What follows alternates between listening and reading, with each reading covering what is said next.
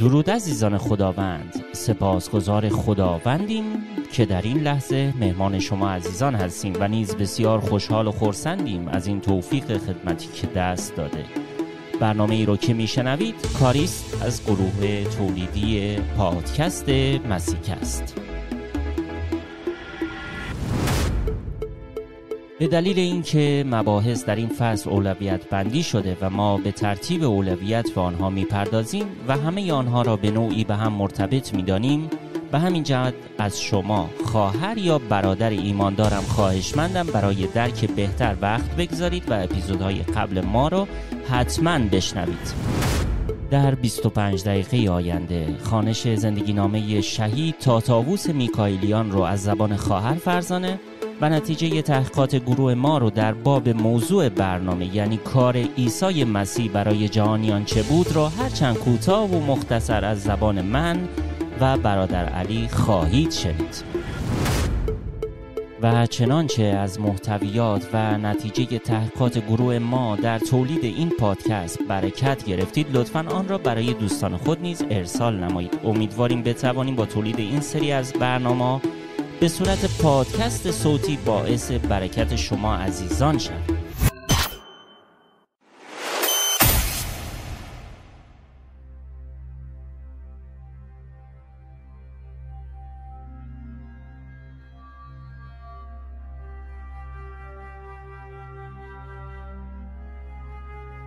پس شما اینطور دعا کنید.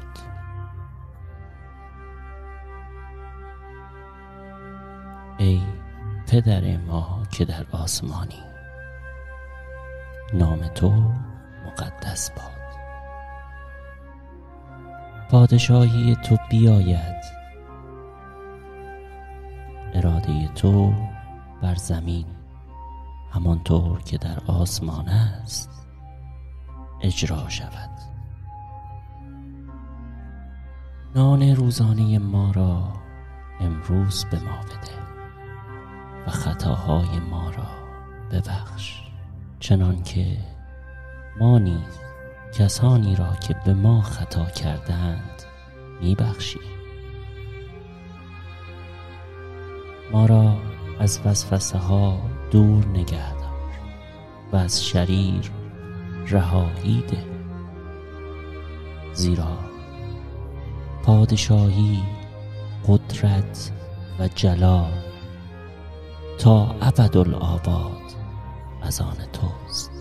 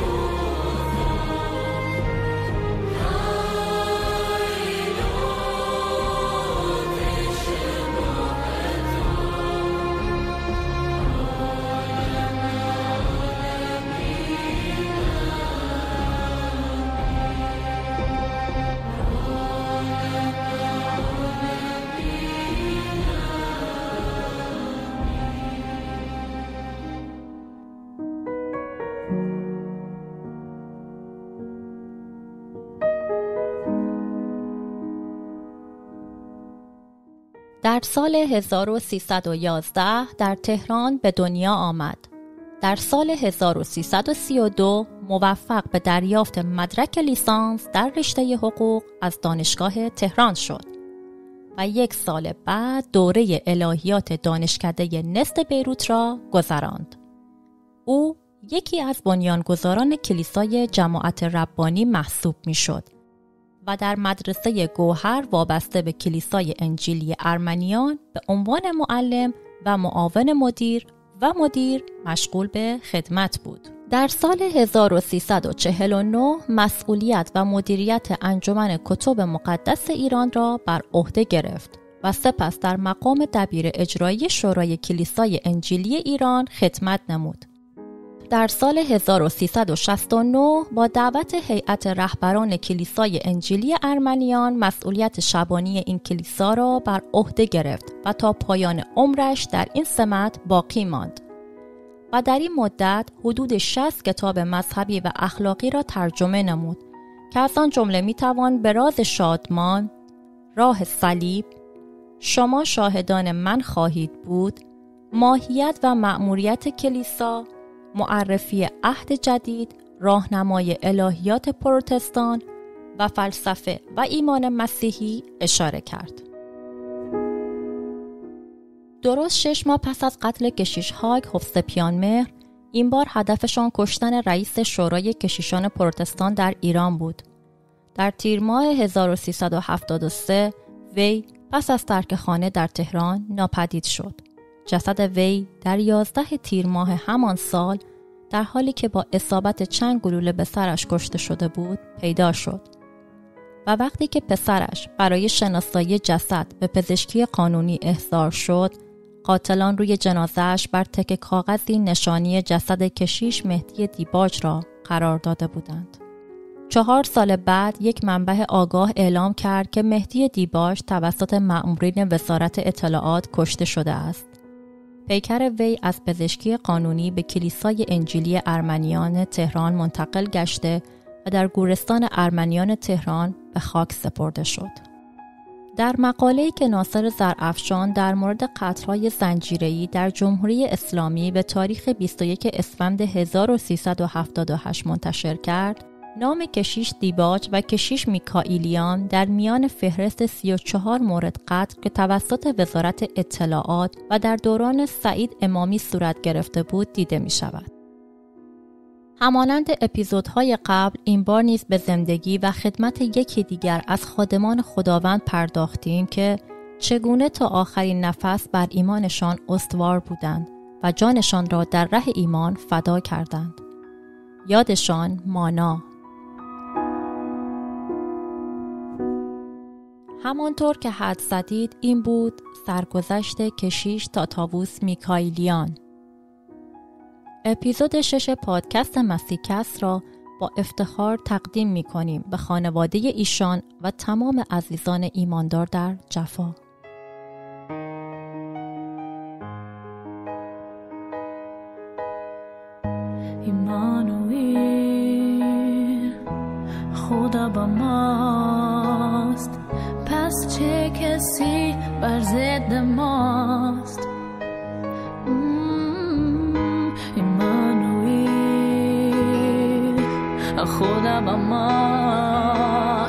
ماست پس چه کسی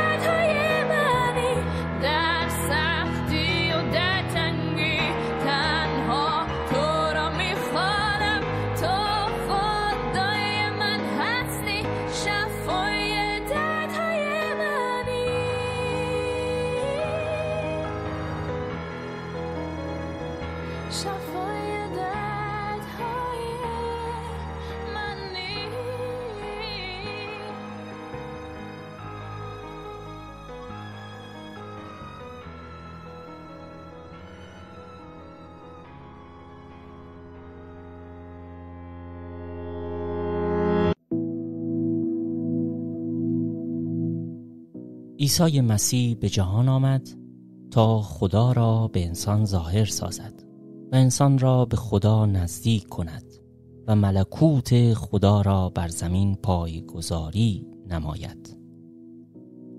در اپیزود دوم توضیح دادیم که چگونه انسان بر ضد خدا اسیان کرد و نه تنها به وسیله دیوار گناه از خدای مقدس جدا شد بلکه چنان ناتوان گردید که دیگر نمی توانست خودش به تنهایی خدا را اطاعت نماید و نزدیک او زندگی کند. بنابراین خدا تصمیم گرفت دیوار گناه را از بین برده و قلب شرارت آمیز بشر را تغییر دهد تا اینکه انسان هم تمایل داشته باشد و هم قدرت پیدا کند که خدا را محبت و اطاعت نماید. خدا این عمل را چگونه انجام داد؟ چنانکه قبلا بیان کردیم خدای مقدس به آدم و حوا فرمود که اگر نافرمانی کنند خواهند مرد. والدین اولیه ما فرمان خدا را در مورد خودداری از خوردن میوه درخت معرفت نیک و بد اطاعت نکردند. و خدا آنان را به مرگ محکوم نمود. ولی ضمن اینکه آنها را تنبیه کرد به آنان وعده ای نیز داد تا آنان و فرزندانشان به کلی نومید نباشند. شیطان به شکل ماری ظاهر شد و آنان را فریب داد. و همین دلیل خدا به آنان اعلام داشت که شخصی از نسل آنان که از ذریت زن می باشد در آینده سر مار را خواهد کوبید و مار هم پاشنه او را خواهد کوبید. مقصود خدا این بود که نجات دهنده ای که از ذریت زن متولد می شود ظاهر خواهد شد و شیطان را مغلوب خواهد کرد. ولی در ضمن انجام این کار خودش توسط شیطان زخمی خواهد شد. این اولین وعده در مورد آمدن عیسی مسیح به سر مریم بود که به وسیله جان دادن بر روی صلیب به خاطر گناهکاران و به وسیله قیام خود از مردگان شیطان را شکست خواهد داد. مدتها بعد از این وعده خدا وعده ای واضح تر و کاملتر به وسیله اشعیا نبی اعلام داشت. اشعیا در کتاب خود که صدها سال قبل از تولد مسیح نوشته شده بود در مورد آمدن شخصی پیشگویی می کند که به جای گناهکاران متحمل رنج و عذاب و مرگ خواهد شد تا آنها بخشیده شوند و حیات یابند. اشعیا این واقعه را چنین پیشگویی می کند. او به سبب تقصیرهای ما مجروح و به سبب گناهان ما کوفته به سبب زخمهای او ما شفا یافتیم. جمیع ما مثل گوسفندان گمراه شده بودیم. خداوند گناه جمیع ما را بر وی نهاد زیرا او گناهان ایشان را بر خیشتن حمل خواهد نمود. این نجات دهنده ای که خدا وعده داد به عنوان قربانی برای گناهان بنی نوع بشر جان خود را فدا خواهد کرد. به طوری که قبلا نیز توضیح دادیم این درست همان کاری بود که عیسی مسیح انجام داد. یحیای تعمید دهنده گفت که عیسی بره خداست که گناه جهان را بر می دارد. خود عیسی نیز قبل از مرگش فرمود که خون او برای آمرزش گناهان عده زیادی ریخته خواهد شد او با بخشیدن جان خود برای نجات گناهکاران محبت خدا را نسبت به انسان ظاهر ساخت و همچنین محبت الهی خودش را نشان داد به قول پولس رسول هنگامی که ما هنوز گناهکار بودیم مسیح در راه ما مرد. بنابراین عیسی مسیح به وسیله مرگ داوطلبانه خیش بر روی صلیب دیوار جدایی بین انسان و خدا را از بین برد و برای گناهکاران این امکان را به وجود آورد که بخشیده شده و به خدای مقدس نزدیک شوند. عیسی نه فقط بهتر از هر شخص دیگری خدا را معرفی کرد بلکه به وسیله زندگی مقدس خیش و محبت عمیق خود در مرگ برای ما گناهکاران اراده و نیت خدا را برای ما آشکار ساخت.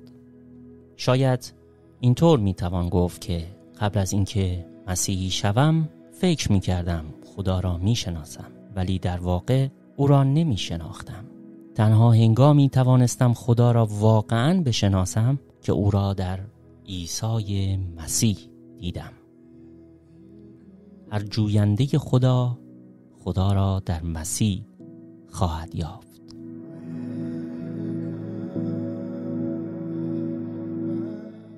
ترسان مباشید ای گله کوچک زیرا خواست پدر شما عطای مرکوت به شماست.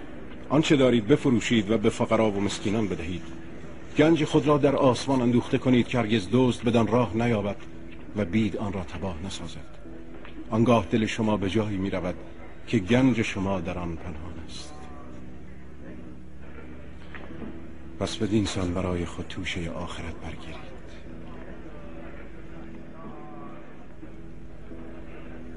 ای زن تو از این مرض شفا یافتی.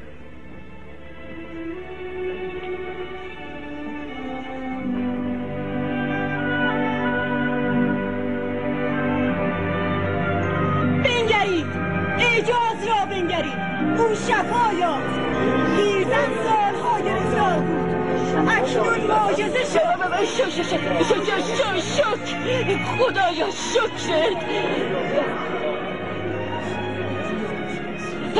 پس از 18 سال خدا نگهدارت باشد ای استاد در هفته شش روز باید کار کرد. در یکی از آن روزها باید شفا یابند نه در روز شنبه که سبت خداوند.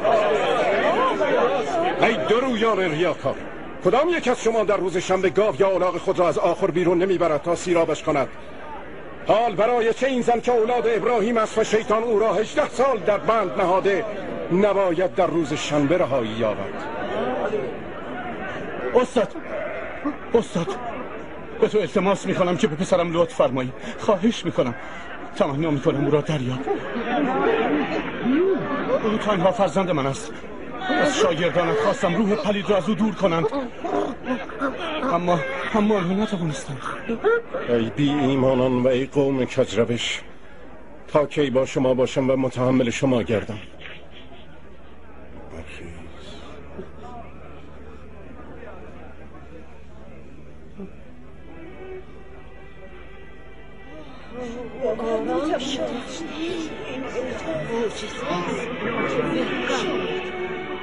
زخم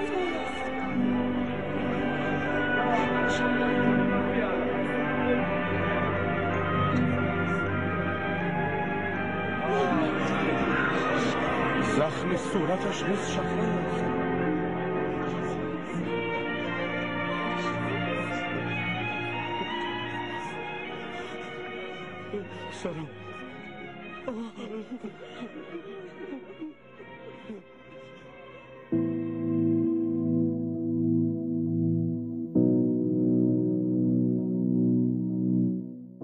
کتاب مقدس در معروفترین آیات خودش تو انجیل یوحنا جواب این سوال رو که کار مسیح در جهان چه بود اینطور میده.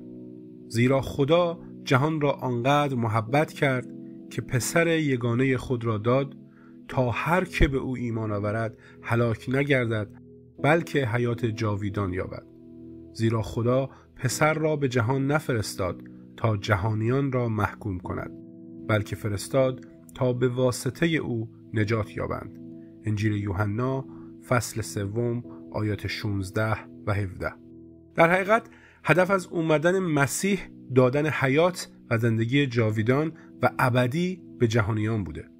بنابراین ما شاهد یه تعامل یا یه جور معامله هستیم.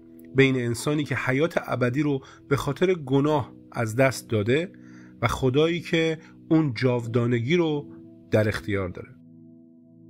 تو اپیزود سوم دیدیم که یک انسان یعنی آدم به خاطر نااطاعتی و قانونی که خداوند بهش هشدار داده بود مرگ رو برای خودش و همه نسل بعد خودش انتخاب کرد و ذات گناه رو برای همه انسانها باقی گذاشت. بنابراین اگه خدا به هر انسانی این حیات ابدی رو می‌داد به خاطر وجود همین ذات گناه دوباره به مرگ منتهی می‌شد. همینطور تو اپیزود قبل دیدیم که عیسی مسیح هم صد درصد خدا بود و هم صد درصد انسان. در واقع اون میباید صد درصد خدا باشه تا انسان رو دعوت کنه برای داشتن حیات ابدی. و همزمان او میبایست به طور کامل انسان می بود که به عنوان ولی یا قیم به جای کل انسانها اون حیات رو از خدا دریافت کنه. گفتم ولی یا قیم. بر اساس قوانین قوم اسرائیل اگه کسی بدهی زیادی به شخصی داشت و قادر به پرداختش نبود باید به بردگی و غلامی اون شخص در می اومد. و یکی از راهها برای آزادی او از بردگی این بود که توسط یکی از بستگان که نسبت خونی باهاش داشت بازخرید می‌شد. در حقیقت اون خیشاوند نزدیک که شخص برده رو بازخرید می‌کرد قیم یا ولی نامیده می‌شد. کتاب روت جایی که تو کتاب مقدس میشه این موضوع رو دنبال کرد. در حقیقت بوعز همون قیمی بود که روت و نعومی رو آزاد می‌کنه.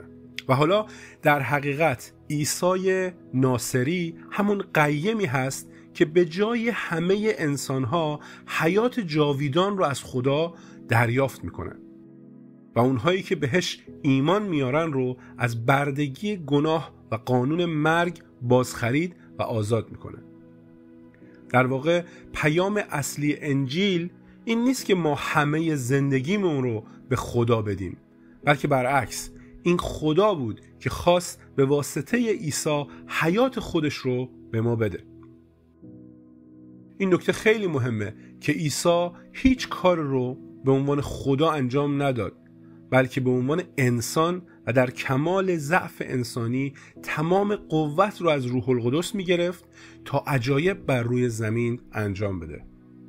میشه گفت یکی از کارهای مهم دیگه ای که عیسی انجام داد همین بود.